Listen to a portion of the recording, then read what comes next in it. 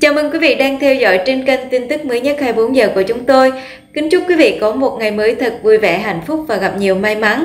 Và bây giờ, mời quý vị cùng theo dõi những bản tin mới nhất trên kênh của chúng tôi. Hồ Ngọc Hà tiết lộ thời điểm sinh em bé chỉ còn một tháng. Mẹ bầu được quan tâm số 1 trong showbiz hiện nay không ai khác chính là Hồ Ngọc Hà. Chỉ còn thời gian ngắn nữa thôi, nữ ca sĩ sẽ chính thức hạ sinh hai thành viên bé nhỏ. Hiện tại, vì đang ở những tháng cuối thai kỳ nên cô dành nhiều thời gian nghỉ ngơi hơn.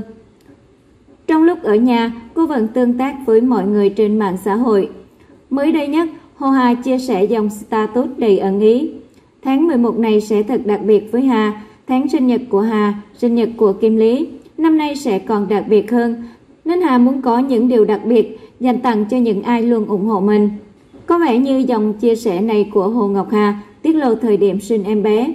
Người hâm mộ cũng như bạn bè đồng nghiệp không khỏi tò mò. Họ liên tục đoán rằng nữ hoàng giải trí sẽ hạ sinh hai con vào tầm tháng 11 hoặc tháng 12 năm 2020. Đây là thời điểm kết thúc một năm đáng nhớ của Hà và bạn trai Kim Lý. Theo thông tin, bạn gái Kim Lý đang bước vào tháng thứ 8 của thai kỳ.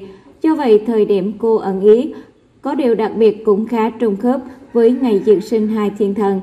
Ngoài việc Hồ Ngọc Hà tiết lộ thời điểm sinh em bé, cách đây không lâu, nữ ca sĩ còn úp mở việc cô đang xây nhà mới trước khi lâm bồn.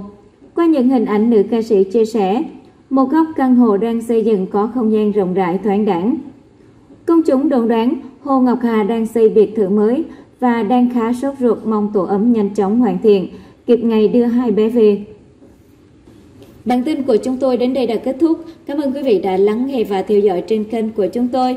Quý vị đừng quên nhấn nút đăng ký tại đây để theo dõi những bản tin mới nhất nhé.